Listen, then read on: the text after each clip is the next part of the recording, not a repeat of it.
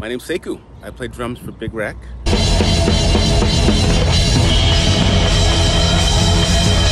I thought I'd make a vlog.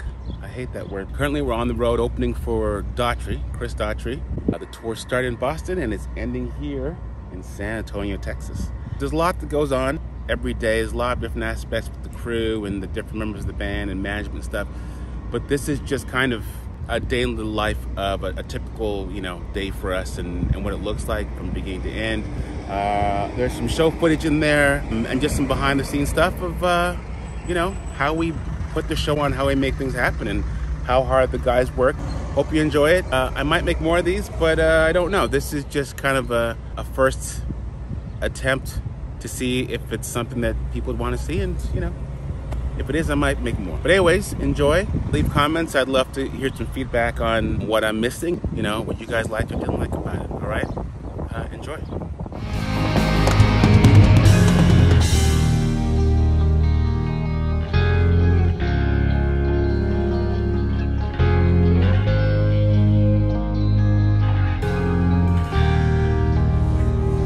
Well, here it is.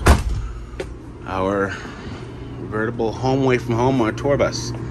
Um, we got lucky this run that we got a bus that was actually fairly bright.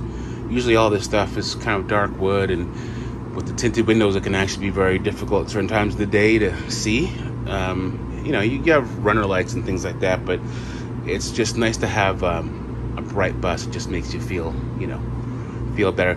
We're fortunate also to have uh, a slide out bus so it's hard to tell as we're in here, but when this bus is rolling down the highway, this whole section uh, is slid in like this. Uh, when we're stationary, this hydraulically, the driver can pull this out so we kind of have more room here uh, just to hang out. So that's a nice little luxury to have. Um, there's a little kitchenette over here. We got some donuts. I I bought everyone some donuts just to put smiles on faces. Uh, there's our bathroom in here. This is what we call bunk alley. Uh, that's where all the sleeping pods are. There are 12 here. Um, I sleep there. Uh, and we have junk bunks where you can just toss your stuff. So band and crew sleeps here. Um, it gets a little crowded, but you know, you figure out how to kind of work around people and how to walk around people and stuff, and it's figured out in no time. It's it's uh, it's nice. This is our back lounge, which should be usually for more chilling, but Ian and Chris and Dave and I tend to store our luggage here, so we don't have to go into the underside of the the bus, the bunk bays, to to get changed or to get our stuff. Um, uh, during the right before shows, Ian will practice back here and warm up his vocals. Um, got a nice TV here. There's our front of house guys Hawaiian shirts that he really likes. I might steal off him. I don't know yet. I'm, I haven't decided. Um, and that's it.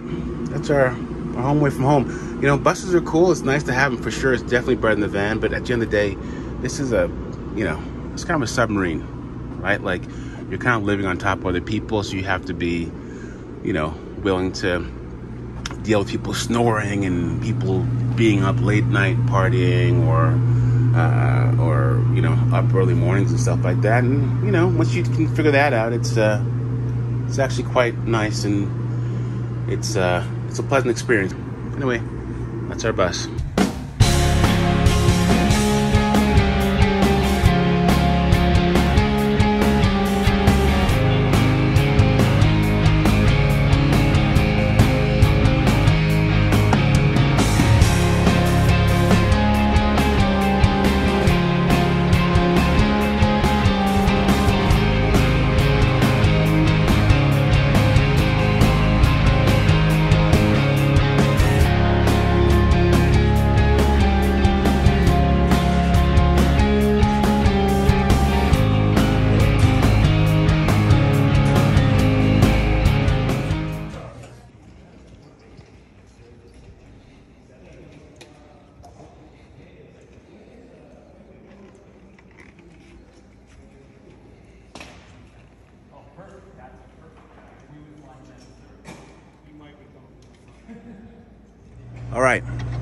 Who are you? My name is Brett Haggerty. All right, good to meet you. Too. Right, what are you doing out here?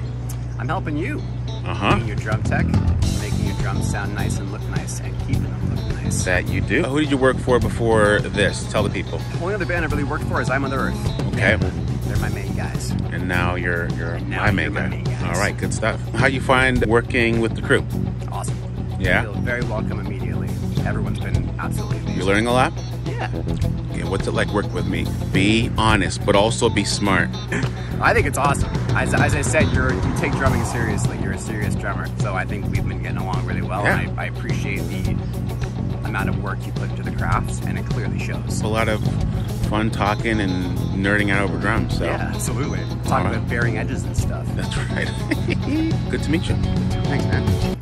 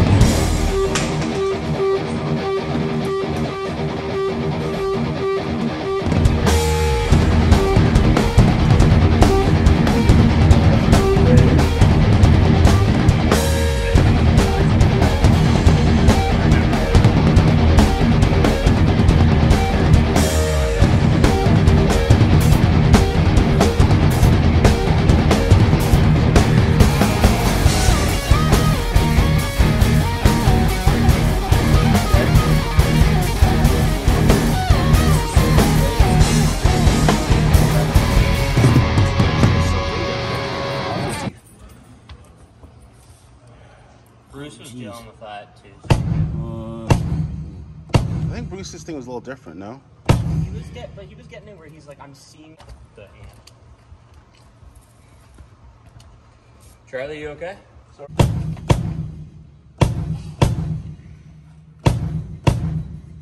Charlie, I don't think I have. So what was it? Just gotta twist the twist lock candle. I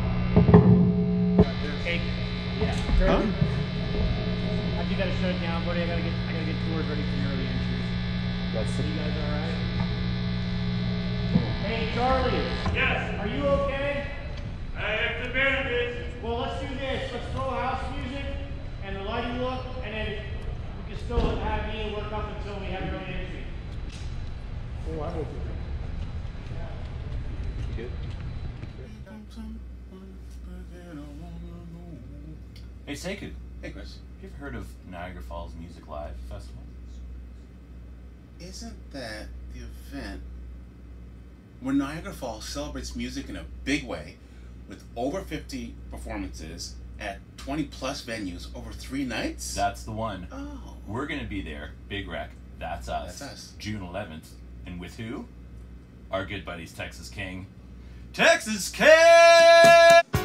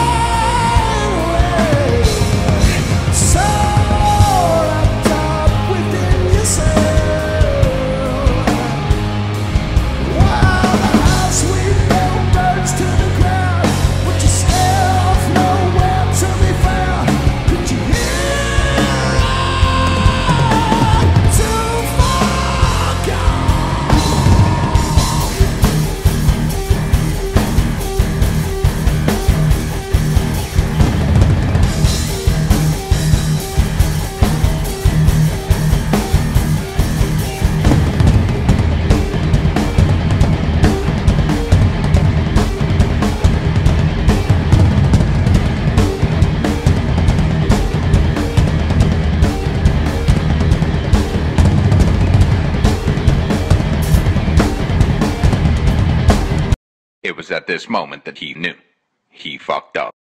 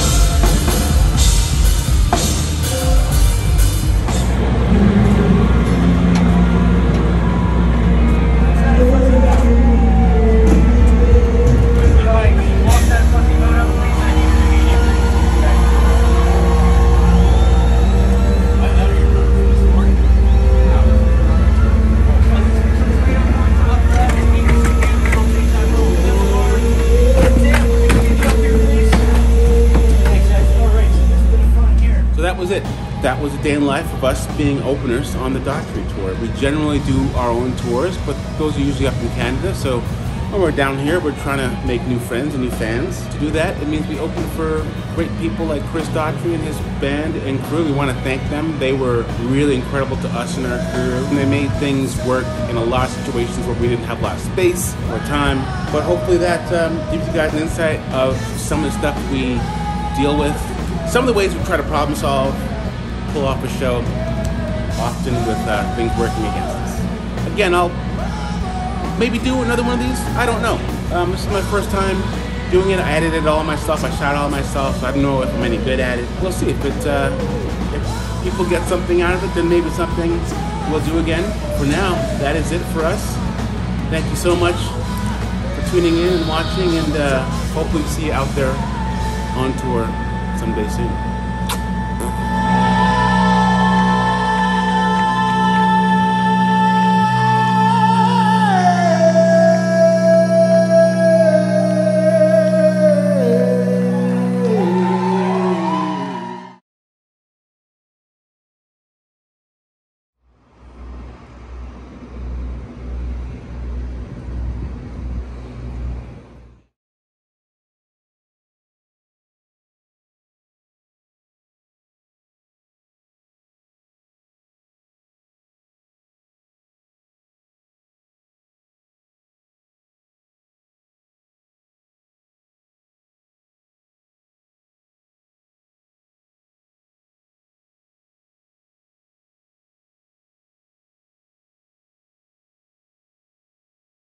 Things went a little sideways for CJ. His bus, the tour bus, lit on fire. And CJ was trained that if the bus were to light on fire, he is supposed to abandon it, call the police, call fire department, get a safe distance away. But CJ knew he had all of Big Wreck's gear on the back of this bus. So what he does is he gets out, unhitches the trailer, gets back in the burning bus, drives 10 meters down the road to make sure the gear is safe, and then calls the authorities. I'm going to go ahead and put this up at rock95.com if you want to go check it out. Nazareth on the way.